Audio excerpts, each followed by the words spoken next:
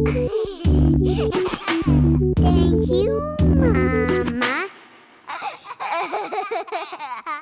Hai Mama, hai Papa, welcome to Happy Kids. Kita mau membahas tentang posisi menyusui. Kalau kita lagi mau nyusuin, kesannya gampang-gampang susah ya. Kayaknya megang bayi, nyusuin itu kan sebuah hal yang natural. Tetapi kenapa sih masih banyak mama yang komplain atau mengeluh saat menyusui itu nyeri? Ini adalah video singkat untuk membahas bagaimana posisi menyusui yang benar. Kalau mama dan papa ingin belajar lebih banyak lagi, silahkan deh dilihat kelas sukses menyusui di www.happykids.id.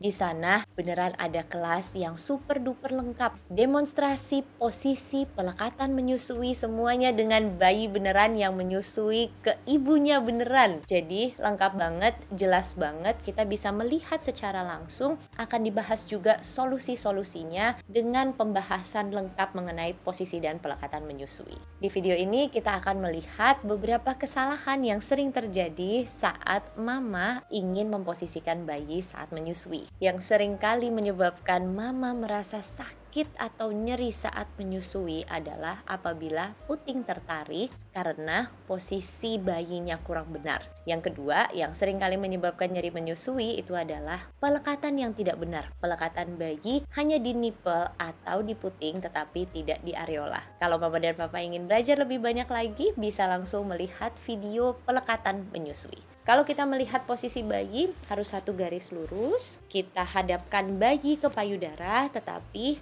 jangan lupa untuk selalu mengingat perut bayi harus ketemu perut mama supaya dia satu garis seperti ini. Sekali lagi, jangan sampai hanya kepalanya saja yang menghadap ke payudara karena ini adalah penyebab utama nyeri menyusui. Semoga video ini membantu. Kalau membantu, boleh di-share ke teman-teman, like dan juga subscribe di channel kita. Terima kasih Mama dan Papas, mga. Supported by